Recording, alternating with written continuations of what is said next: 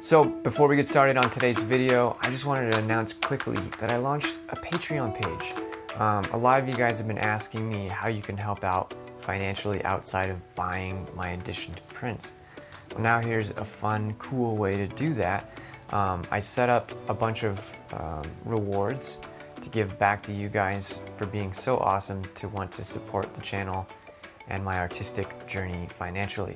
So there's a bunch of cool stuff, um, longer cut videos, darkroom live streams, you have access to the Facebook group, and you can win cool stuff like um, work prints and contact sheets. You can help me make selections on what to make prints of, all kinds of really cool stuff. So check out the link in the description, and thank you so much for your willingness to help support this channel. In this video, I want to go through the top 10 things that I've learned in the darkroom in the past few months. Um, not all of it has been awesome. Uh, although I've had a lot of fun printing lately, um, I've run into some problems that have caused me uh, days in the darkroom, in the dark. and um, coming up with solutions to those problems or finding the problems themselves um, has helped me get to the point I am now in which I'm able to create most of the time I'm able to create fairly consistent and um, good looking prints. So without further ado, here is the top 10. Item number one, fresh chemicals.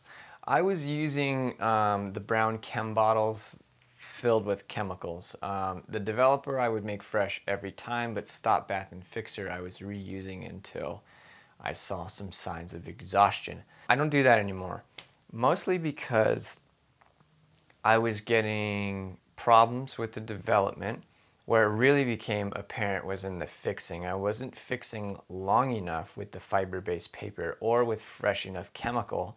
So when I went to selenium tone, I stained the print. Um, you could kind of look at selenium toning as a fast and dirty residual silver test. Any silver that's left in the paper that hasn't been fixed is gonna stain. Use fresh chemicals. I made myself a little cheat sheet, which I'll put a link in the description if you want to use my cheat sheet or modify it.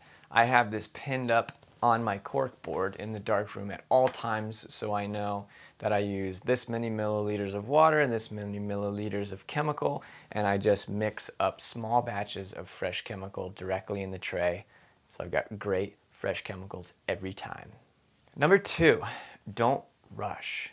Slow down. The clock can seem to drag forever, especially after you've exposed a piece of paper and it takes me three minutes to develop in the tray. It takes me 30 seconds to a minute in the stop. And then I usually will do a full fix now of five minutes. So taking all of that time, it can seem like forever and you want to click the light on and you're getting antsy, but just try to relax and enjoy the process get into a rhythm. I've been listening to audiobooks, um, less music now, just because I feel like it's getting a little bit repetitive.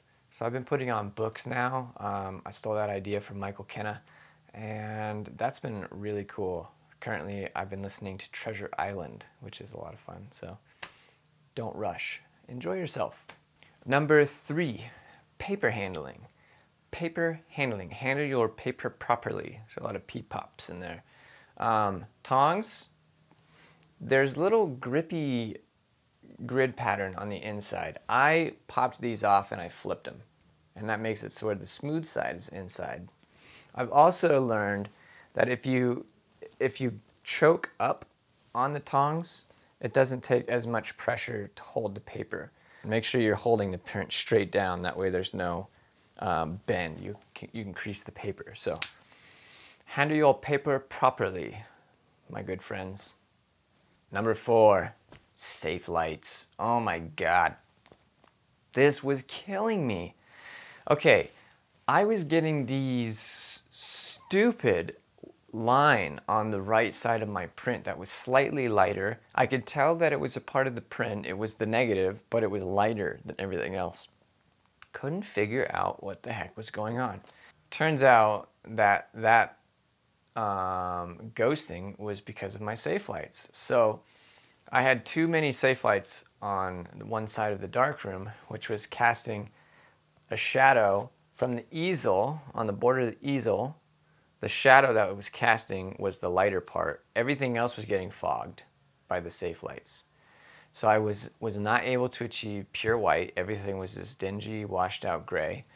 And I only finally decided to do a Safelight test after just running my head in the wall. I realigned the enlarger like nine times. I had I figured that there was an issue with the, the enlarger, um, light leaks, the easel. I got magnet tape to put on the bottom of the easel blades to keep them stuck down. Didn't help because it wasn't the problem. If I had only done a simple Safelight test, that would have solved all my issues. And to do a Safelight test, all I did was I put a piece of paper in the easel and I put a quarter on the piece of paper and then I also covered half of the piece of paper with a um, piece of cardboard and just let it sit there for I don't know I think it was a couple of minutes three minutes maybe and then I put it in the developer and when I did a nice gray block emerged with a nice white circle in the middle of it so your safe lights are too bright my friend so I killed all but one in the room and I put it furthest away from the enlarger so it's a lot harder to see in here now, but I have zero issues with paper fogging um, unless I leave my cell phone face side up and somebody texts me. Had that happen before too. Uh, so yeah, check your safe lights.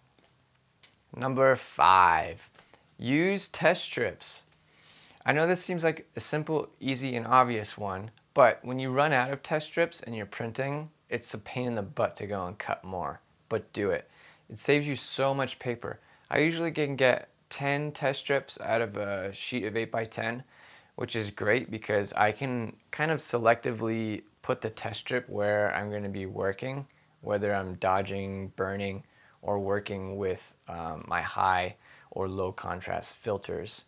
I can kind of selectively place the test strip where I know that I'm going to be um, focusing on. So saves a lot of paper it saves a lot of time because you can get things dialed in very quickly.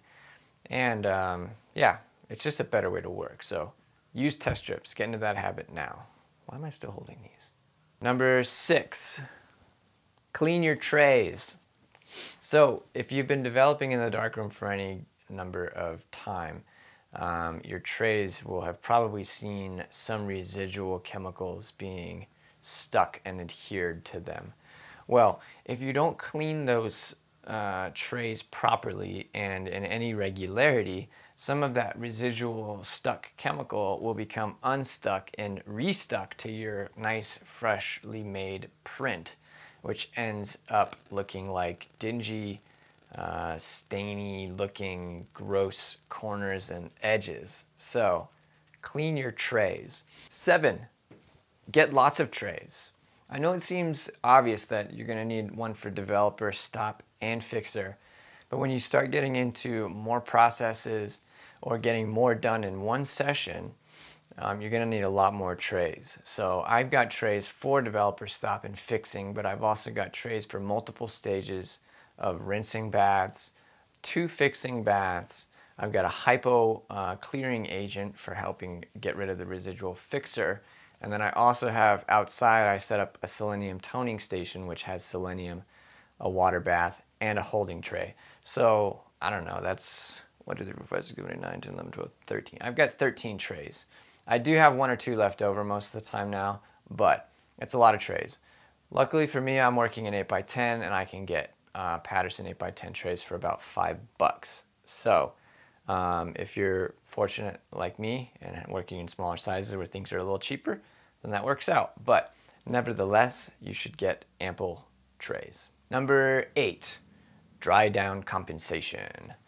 Dry down has been known to make me curse a lot um, because it was something that I was new to. Uh, I hadn't really experienced a lot of dry down with uh, resin coated paper.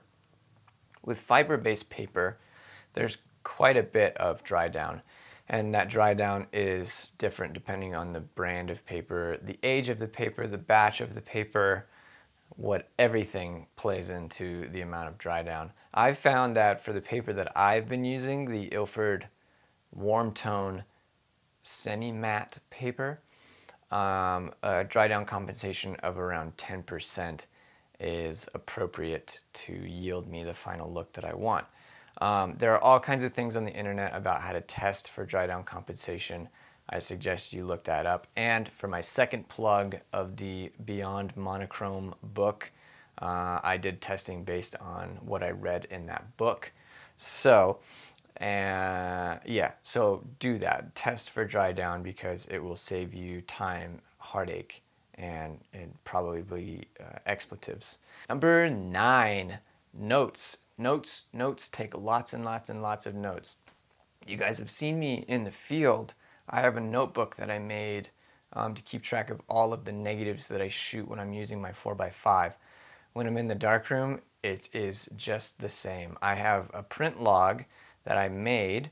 Uh, the print log will help me to, to remember all kinds of things from technical data of the enlarger setup all the way to the chemicals, the tones, the times, the dilutions, um, everything, as well as some boxes in which I can fill out to indicate um, my base times and my burns and dodges. And um, those are really helpful. I keep that in a notebook. Every time I print, I pop one out and I just fill it out as I go, or I fill it out at the end while I'm cleaning up.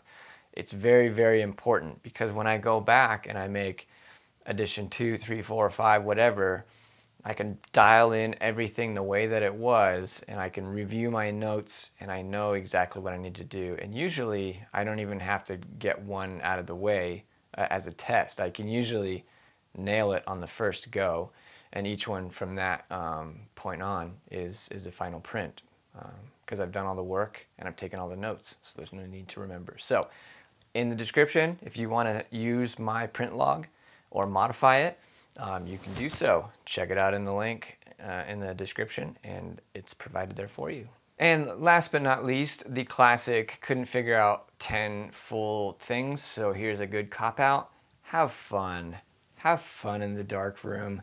It can be a very hot and very smelly and sweaty place, and if you're not enjoying yourself or the process, it's not worth it. You know, it's just so much easier to get awesome, good looking, consistent results on the computer, you're gonna have to work a lot harder in the darkroom to get things looking the way you want. So enjoy yourself, have fun, make your prints, make your mistakes, solve your mistakes, make better prints. That's it. That's the top 10 tips, well, the top nine tips and a cop out tip that I can offer you in the darkroom. If you have any questions, comments, concerns, if you guys want to talk about my mustache, I've been watching a lot of Narcos lately, so um, just let me know. And also, don't forget the link in the description if you guys want to help support me in my uh, journey. The link to my store is in the description. Um, I will see you guys around. We've got a lot more videos planned, so thanks so much for your help and watching, and see you around.